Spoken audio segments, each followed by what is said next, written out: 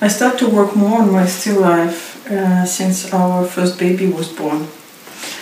Uh, I was going around with him on the walk uh, in a forest and in the fields, and I saw some wildflowers.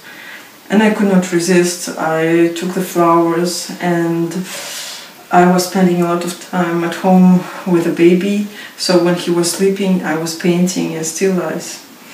Uh, I can say that um, all my still lives they are autobiographical because uh, according to what you see on the canvas, you can guess what time of the year it was, uh, what time in my life it was. Uh, because the way how I uh, set up uh, the painting, it is. Um, I don't set up things on purpose.